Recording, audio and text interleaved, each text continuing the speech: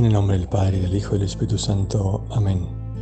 Muy buenos días a todos más espirituales e intercesores. El día de hoy se nos presenta el Evangelio de San Mateo, en el capítulo 19, los versículos del 13 al 15, que dice así. En aquel tiempo le presentaron unos niños a Jesús para que les impusiera las manos y orase. Pero los discípulos les regañaban. Jesús dijo, dejadlos no impidáis a los niños acercarse a mí. De los que son como ellos es el reino de los cielos. Les impuso las manos y se marchó de ahí. Es un texto muy sencillo, muy simple, para mí un tiempo muy, muy profundo.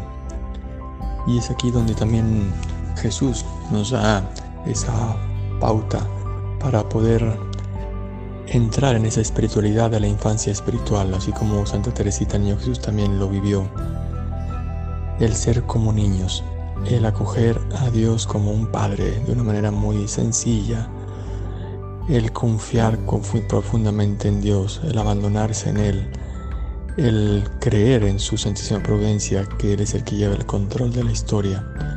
Un niño confía en su papá, confía en su mamá, se abandona a ellos. Y como en contraposición, los apóstoles están un poco molestos porque no quieren que se acerquen los niños a Jesús, quizás porque el niño no tenía un valor fuerte en esa época, porque quizás no era considerado como un adulto con uso de razón. Y sin embargo Jesucristo va, les dedica tiempo, les impone las manos y hace ese papel de padre, realiza ese papel de padre, ese papel en el cual pues acoge a los niños, los recibe, les da cariño, les da aprecio y también les dedica tiempo imponiéndole también las manos. Las manos también son un símbolo de acogida, un símbolo de aceptación. También nosotros el día de hoy podemos pedirle a Santa Teresita al Niño Jesús que nos ayude a crecer en esa espiritualidad, en esa infancia espiritual, para que también seamos sencillos, seamos simples, que no nos compliquemos la vida en la medida que vamos creciendo, no muchas veces nos vamos complicando la, vida con raciocinios, elucubraciones diferentes, difíciles.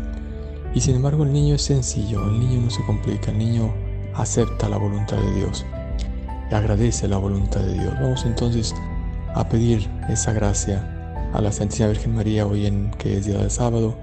También vamos a pedir a Santa Teresita que interceda por nosotros, que interceda también por todos los sacerdotes, por el Papa, por los obispos, por la iglesia, para que de esa manera también la iglesia sea sencilla, sea una iglesia que busque la unidad, que busque vivir como hermanos.